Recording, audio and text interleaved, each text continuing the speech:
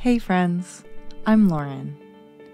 Have you ever felt like a balloon about to pop because of big and strong feelings? I know I have. Today, I want to share some cool tricks I've learned to let out some of that air when we're feeling a little too full.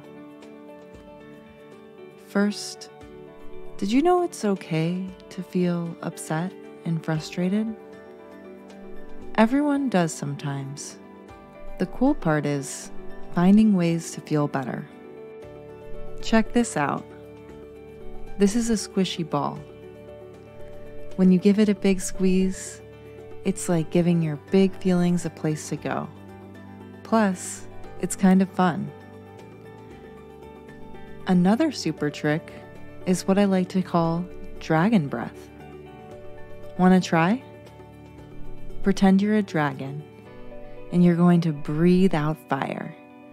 But instead of breathing out the fire, we're going to breathe out our big feelings. Ready? Breathe in deep. Then let it out.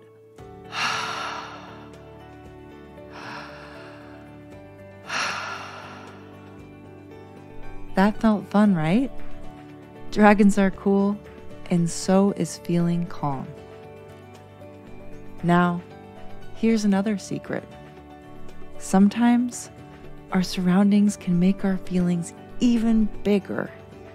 If things are too loud or too busy around you, it's okay to find a quieter spot, like under a tree during recess or in a cozy corner of the classroom. And these, these are my special headphones. Sometimes I like to listen to my favorite calm song, or even just sounds of nature like birds chirping. It's like having a mini vacation in your ears. I also have these cool cards in my backpack.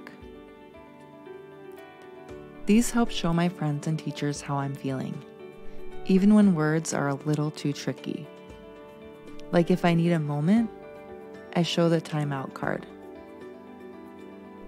You know, the biggest thing I've learned is that we all have feelings, and that's totally cool.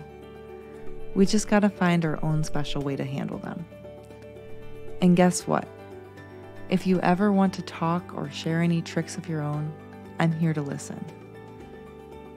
So, next time you feel like a balloon just ready to pop, remember these tricks and know you're not alone. We've all got this.